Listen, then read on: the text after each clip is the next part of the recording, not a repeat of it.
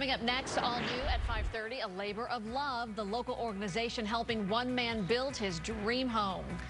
Well, a labor of love this week. A West Palm Beach college student and full-time worker is building a dream home with a little help along the way.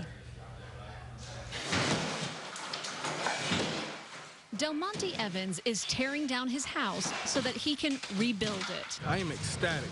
There's no words in, in the world, man. I'm like, I'm really grateful. Evans and volunteers from ADT have partnered with Habitat for Humanity to give Evans a new home. We are having a fantastic time here today, getting the chance to do some demo work. Uh, obviously, in the tax department, we don't get to tear things up very often. They've really helped me out. You know, I gotta keep I gotta keep up with them. Actually, you know, they're working really fast. The program is called ADT Always Cares.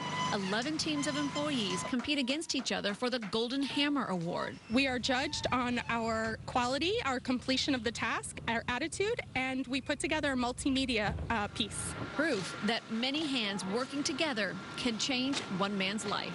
At the end, it's gonna it's gonna look stupendous, stupendous.